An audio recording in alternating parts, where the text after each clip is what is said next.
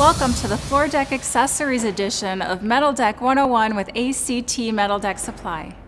A floor is like a cake pan, so you have to make sure there is nowhere that the concrete can pour out. To stop the concrete at the perimeters and openings, there's pour stop, always the depth of the slab. For openings that just need to be capped off, there is cell closure, always the depth of the deck. Lighter gauge form decks under 22 gauge may use weld washers, which add metal for a more secure weld. For composite deck, shear studs are often welded to the steel as part of the composite design. When the deck has an interlocking side lap design, a button punch tool will be used to crimp the side laps together. For more information, please visit us at metaldecksupply.com.